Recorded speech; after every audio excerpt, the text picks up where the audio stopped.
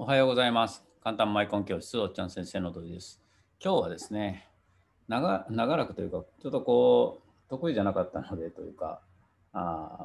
iPad ですね。iPad を使って、えーマイクロビットのプログラムを作う作るというのをやってみたいと思います。結構ね、こう無あの Bluetooth の無線機能を使って書き込みができるんですね、このマイクロビットの。あですので、えー別にこう USB ケーブルつながなくてもできるんですよね。これとこれとのセットで。これをやってみたいと思います。こう詳しくやるとね、3回か4回ぐらいになりそうなんですけど、あの基本的な流れだけをやっていきたいと思います。といつものようにこうブラウザを開いて、えーマイクロビット ORG とを押してくださいという必要がなくて、えータビロタブレットですね、えー iPad を使いますが、それを使って、えーやっていきたいと思います。はい、iPad の画面です。で、iPad の画面のこの App Store、ここに行ってですね、えーマイクロビットをのソフトを検索してもらうということになります。マイクロビットと。で、エンターと。すると、これですね。もう私のはインストールしてあるので、一番左上に出てるやつですね。この緑色のやつです。これをインストールのまだの人はインストールしてもらって、これがタブレット用のマイクロビットのあのソフトウェアということになります。で、まず、プログラムを作るのは、これ英語なんでちょっと分かりにくいかもしれませんけど、あまあ、これ上から順番に行けばいいんですけどね。えーまず、マイクロビットを choose ですから選んで、で、次、コードを作って、メイクコードですね、プログラムを作って、フラッシュっていうのが、あいわゆるあの USB でつないでダウンロードって言ったやつです。で、ダウンロードっていうことになります。これの3つでマイクロビットが動きます。で、下のモモニターコントロールだとか、まあ、アイデアはまあチュートリアルだとか、多分ホームページで飛んでいくんだと思うんですけど、モニターコントロールっていうのは結構高度で、これもまた面白いことができます。と具体的に言うと、確かですね、マイクロビットの A ボタンを押すと、タブレットのカメラで写真を撮るとか、そういうことができたと思います。あるいはタブレットをコントローラーにして、えーマイクロビットを動かすと。まあ、だからそうですね、モニターですから、あマイクロビット側からあタブレットのカメラをモニターすると。あるいはタブレット側からマイクロビットをコントロールすると。これかなり高度になるので、まあ、ご希望があれば動画撮ってもいいですけど、まあ、この上3つですね。この上3つの流れをやっていけば、あマイクロビットとつながるということになります。で、チューズを選んでもらうとこんな風になってて、で、上に出てるこの赤いブロックみたいなやつ、これがとマイクロビットとつなぐということになります。これ、今分かりにくい、あこれでつなぐんですよね。で、えーこの新しいマイクロビットとつなぐ作業、この辺りからやると本当に長くなるので、まずこれでペアリングしてもらいます。で、ペアリングをして、で、一番下のやつが新しいマイクロビットをペアリングするときのボタンです。で、このペアリングのボタンを、新しいマイクロビットを買った人は、これでペアリングします。この動画をが英語なので分かりにくいんですけど、まず AB ボタンを先に両方押します。それから押した状態のままで裏側のリセットボタンを押して、で、リセットボタンから離していきます。すると、マイクロビットの表画面に、えー、と Bluetooth の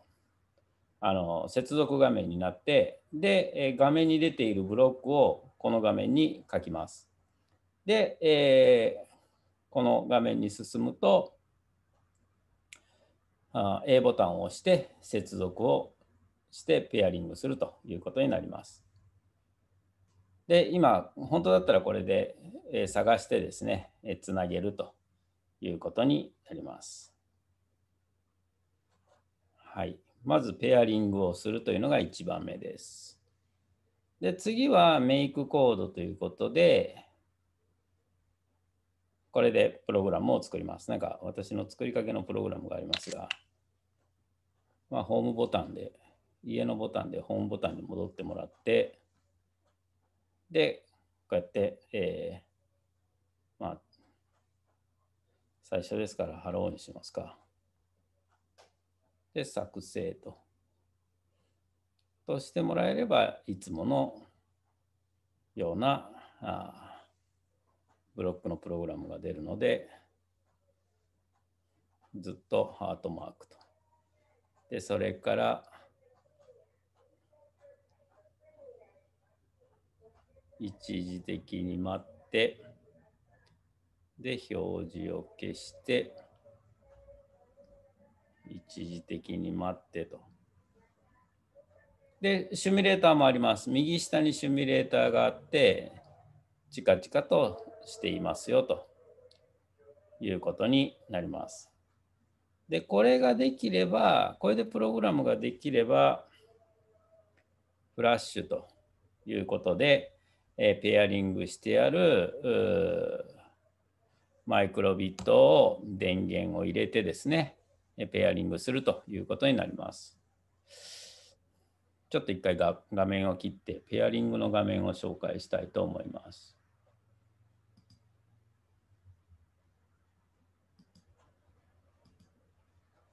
はい。マイクロビットの電源はこれ入ってます。プログラム何も入ってないので画面が出ませんが、電池がつながっていて、で、電源は入っていると。この状態で AB ボタンを、AB ボタンを同時に押して、裏のリセットボタンを押して離すと、こんな画面な変わるんですよね。で、これ Bluetooth の記号です。でこ、この状態で離したら、この画面ですね。さっき出てきたブロックがこれなんですね。これがあのパスワードみたいな代わりになってて、でこの画面で、えー、パスワードをつけてペアリングがうまくいけば、でこの状態で待ち受けるんですね。この状態で待ち受けて、はい、画面を iPad に戻します。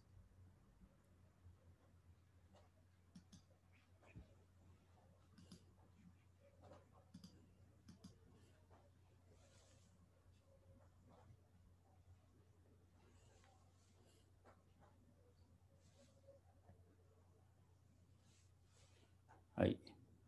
止めてればよかったですね。はい、これで。で、先ほどのこの画面ですね。この画面になっている状態でつなげると、マイクロビットと接続が始まって、今これ書き込んでるんですね、Bluetooth で。Bluetooth で書き込んで、これで書き込みが終わると、はい、ハートマークの転送で、え、こちらのタブレットでタブレットで作っていたプログラムがこちらに移ってくると。共有切りますね。こちらでタブレットで作っていたものがこちらに移ってこう USB ケーブルつないでませんよね。このような形で書き込みができるということになります。はい。とかなり駆け足でしたので分かりにくいかもしれませんが、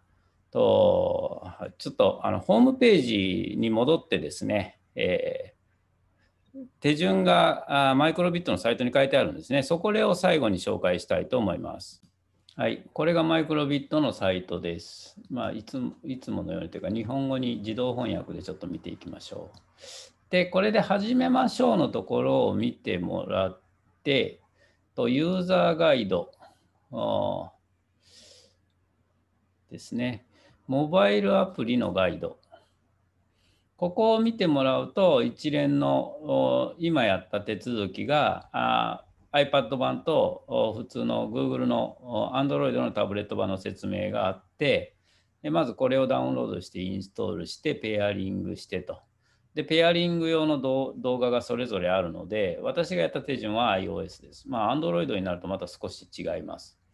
で、その後、画面でプログラムを作って転送してくださいと。いうふうに書いてあって、ここまでですよね。ここまでが流れでヒントで、ここまでがあのパッドですね、えアプリを使った書き込みということになります。モバイル、タブレットを使った書き込みということになります。はい。と、いかがだったでしょうか？タブレットですね。えー、まあ、あのコロナもあってですね、こういうタブレットが各小学校にあるとですね、えー、コンピューターだったら USB ケーブルでマイクロビットをつなぐと非常に便利なんですが、タブレットになるとなかなかマイクロビットどうやってブルあのつなぐんだろうと思ってるかもしれませんが、非常に簡単に、ただこちら側に電源がいるんですよね。こちら側に電池がいって、まあ、電池なければ USB ケーブルで、えー、つなげばいいんですが、最近のモバイルバッテリーは途中で電池切れちゃったりとか、いろいろあるので、まあ、このタイプのマイクロビットが手に、はい、バージョン2で入ったので、まあ、電池があるという前提であれば、今のようにして書き込むことができます。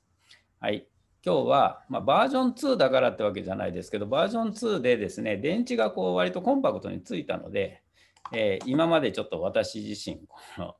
タブレットでやるペアリングがあんまり慣れてなかったのでね、最近慣れてきました。あ慣れてきたので、今日は紹介させていただきました。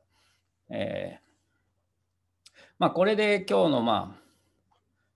バージョン2のシリーズ、終わりにしようかなと思っていましたが、と、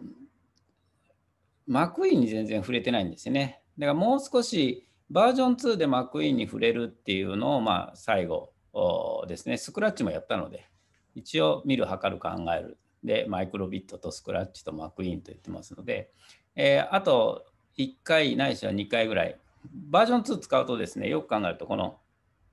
ここのボタンですよね。このロゴのタッチセンサーを使うと、非常にいいコントローラーが作れそうなので、えー、マクイーンをバージョン2のマイクロビットで操縦するっていうのを次回、次次回ぐらいで撮ってみ、えー、たいと思います。はい、今日もご清聴ありがとうございました。このチャンネルではこの小型のマイコン、マイクロビットの説明動画を毎朝朝6時にアップロードしています。もしよかったらですね、ぜひチャンネル登録していただいて、毎朝お付き合いいただければと思います。はい、今日もご清聴ありがとうございました。